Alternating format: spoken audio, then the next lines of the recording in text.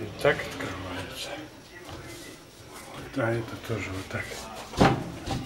Закрывается. Вот так открывается. И вот такой вид у нас. Вот он, нижняя рельса. Вот она. А вот перекладина и одна большая антресоль, потому что очень много вещей. А наверху натяжной потолок. И вот так вот мы его прошли и закрепили рельс к двум фальшкам на уголки пластиковые. Сейчас запеним фальш-панели и прижмем их дверками. Все, шкаф готов. Пена засыхает на фальшивках. Вот такой вид нашего шкафа купе в прихожей.